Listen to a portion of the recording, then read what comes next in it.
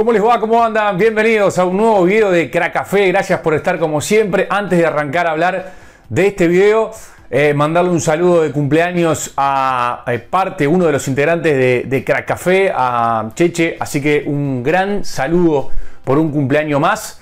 Este ya debe estar este, pasado de copas. No, no. Eso era cuando era más, más, más chico. Ya está, ya es una persona adulta, grande. Así que eh, fuerte saludo para uno de los integrantes de Crack Café, quien nos acompaña del año 2017, uno de los creadores de este canal. Así que fuerte abrazo y, y nada, a pasar lo mejor posible su cumpleaños. Hablemos de Argentina, de la Argentina, de la selección de Messi, que por fin se puso el overol maradoniano, por fin eh, se puso la camiseta al hombro y no solamente con los pies, sino también siendo un referente, siendo un capitán, que hasta ahora no lo venía haciendo, que hasta ahora no venía demostrando, eh, hasta antes del Mundial, es el Mundial de Messi.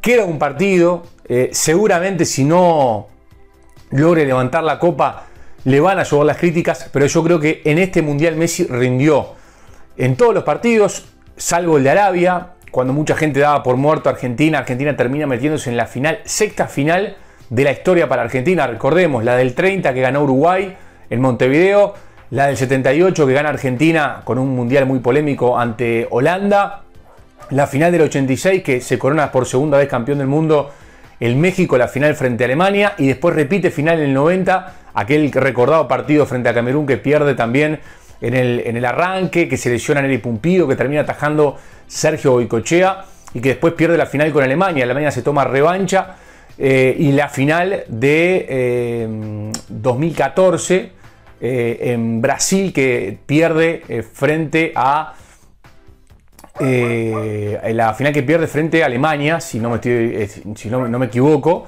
Este, hay un, un can que es hincha argentina que está este, contento por la victoria.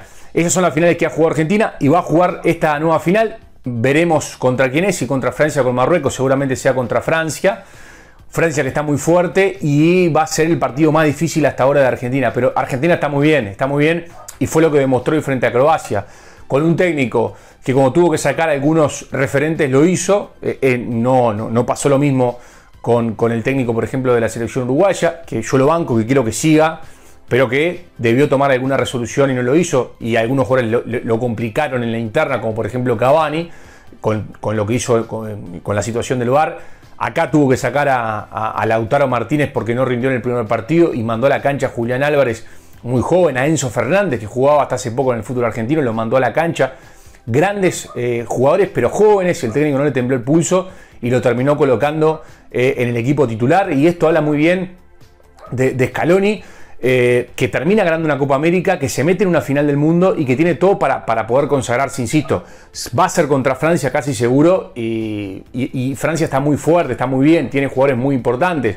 De la mitad de la cancha hacia adelante, eh, Rabiot, eh, eh, Dembélé por un lado, Mbappé por el otro, Griezmann jugando suelto, Giroud, le faltó Benzema y apareció Giroud, es muy fuerte Francia, si es que Francia, pero seguramente sea. Entonces, yo creo que Argentina tiene, tiene condiciones, es el mundial, me da la sensación de los argentinos, es el mundial de Messi tocado por Diego Maradona, es querer o reventar, esto es querer o reventar, yo creo, eh, elijo creer que algo hay, porque me parece que está tocado por Maradona Messi, porque no solamente insisto, no solamente su mundial con los pies, no solamente su mundial jugando al fútbol, sino es su mundial como referente, como capitán y como tuvo que decirle salir a cabo al holandés que lo había provocado durante todo el partido, lo hizo. Eh, y, me gusta ver a ese Messi maradoniano, a ese Messi que tiene que ir, eh, además de, la pelota al pie, de, de, la revolución, de ir a chocar con los poderosos y va y choca. Eh, y ese, ese Messi creo que, que está haciendo este mundial. Tiene golero, eh, gran campaña de, una vez más del Dibu Martínez, un arquero que te come psicológicamente, que además responde las veces que tiene que responder abajo del arco, que sale bien, es un arquero completo, que juega con los pies. En el fondo, cuando tuvo el técnico que ir a jugar con una línea de 3, lo hizo, con dos laterales volantes, nunca jugó con línea 5, es una mentira, hay que ver fútbol, señores, hay que analizar el fútbol una vez que termina, hay que ver los mapas de calor, hay que ver cómo subieron los laterales frente al partido con Holanda, que jugó con una línea de 3, hoy tuvo que jugar con un 4-4-2, ese sistema que te hace, eh, que es una mixtura que me gusta muchísimo, es un sistema donde vos tenés podés lograr asociaciones, triangulaciones, donde se forman permanentemente triángulos, donde además los puntas tienen que bajar a la mitad de la cancha para poblar esa zona media y, si vos haces ese, ese, ese trabajo bien, te puede salir un partido redondo como le salió a Argentina. Analizó los rivales, contra Holanda jugó con tres en el fondo, contra Croacia entendió que, el partido daba para poblar la mitad de la cancha y para jugar con el 4-4-2, para buscar asociaciones y lo consiguió. Entonces, habla muy bien del entrenador, con un gran campeonato hasta ahora de Otamendi bancando arriba, bancando abajo, jugando muy bien. Cuando tuvo que entrar Lisandro Martínez lo hizo muy bien también, eh, acoplarse en esa línea de tres. Con Molina jugando o como lateral o como lateral volante, haciéndolo este, muy bien, marcando goles. Con Acuña cuando jugó, haciéndolo muy bien.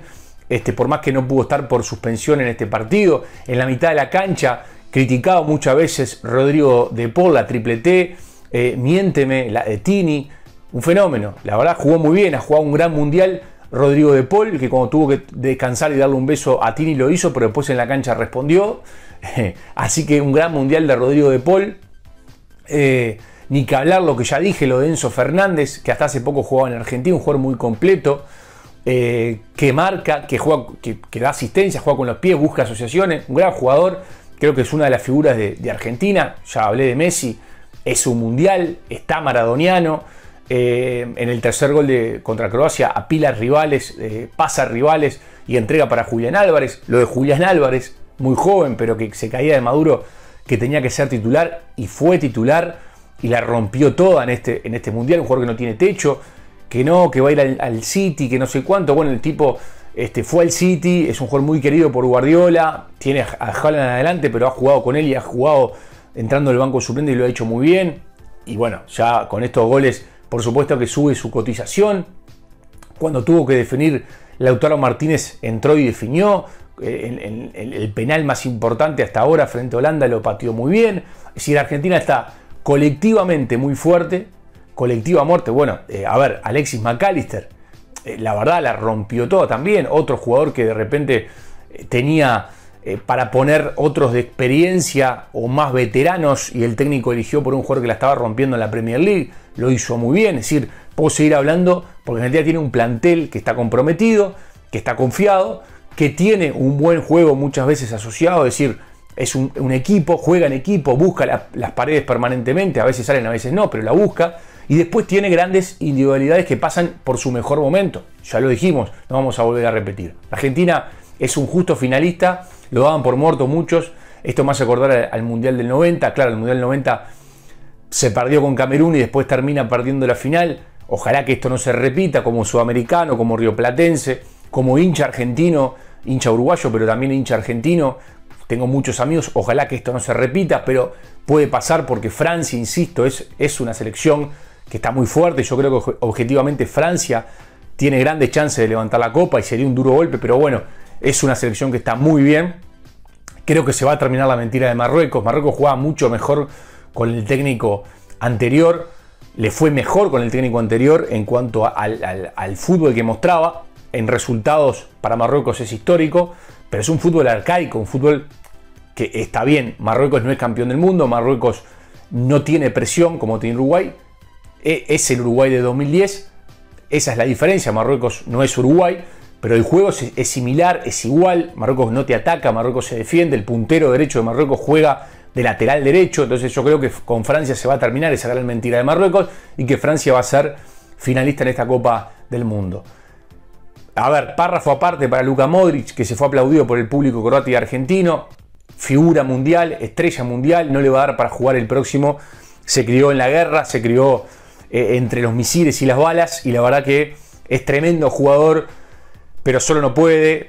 Hoy no funcionó la mitad de la cancha, eh, no, funcionó sobre todo Brozovic, eh, el, jugador que, tiene el balance en la mitad de la cancha, y, no, y eso hizo de que, Croacia no, no pudiera este, meterse en partido prácticamente en ningún momento, salvo los, primeros 20 minutos, pero mencionar este, sinceramente a, Luka Modric. Eh, y en el final, cortito, eh, la situación del profe Ortega en Uruguay no va a seguir en la selección. No hay tanto eso que se, que se dijo. Creo que se buscó un chivo expiatorio para, para el mal momento de la selección. Creo que hay algún jugador que no le gustó alguna forma de, manejarse del profe Ortega, pero hay un ego importante en algunos jugadores de la selección. Así que bueno, creo que por algo eh, está en, Europa hace 20 años. Creo que me parece que hablar. Eh, era Maradona en la eliminatoria, ahora parece que es el diablo. Una situación bastante rara que se dio en, en, estos últimos días que queríamos manejar en el final de este video. Como siempre, pueden comentarnos, se pueden suscribir, pueden debatir de fútbol, que es la idea, y habrá más crack café para compartir.